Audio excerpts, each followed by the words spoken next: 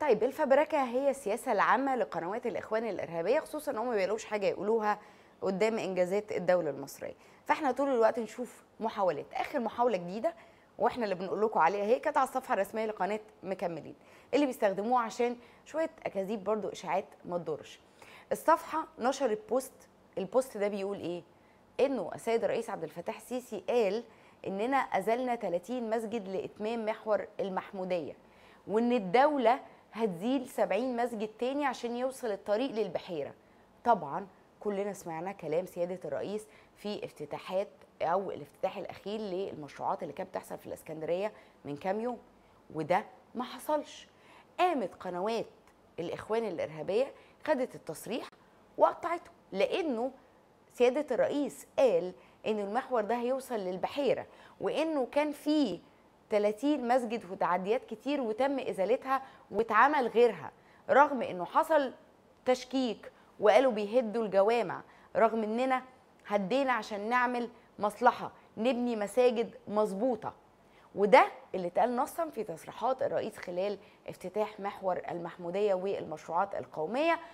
سيادة الرئيس قال تحديدا إن البحيرة فيها 77 جامع مخالف على حرم الترع. وسأل هل اللي عايز يبني حاجة لربنا ويهادي ربنا ويعمل له بيت يسرق أرضه؟ وتاني أكد الرئيس إنه بالرغم من كده هنشيلها ونعمل مكانها.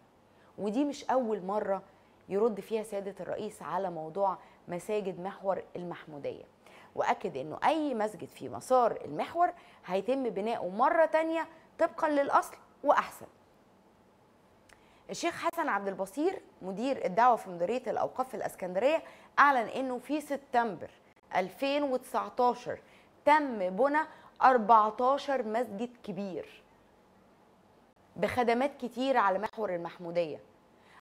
بعد ما كانت إيه؟ المساجد اللي تم إزالتها كانت مجرد زوايا صغيرة. ما كانش فيها طبعا خدمات ما كانش فيه خلينا نتكلم بمنتهى الصراحة معظم المساجد اللي كانت بتتعمل دي كانت بتتعمل ما فيش يعني دورات للمياه أو مكان للوضوء بشكل جيد.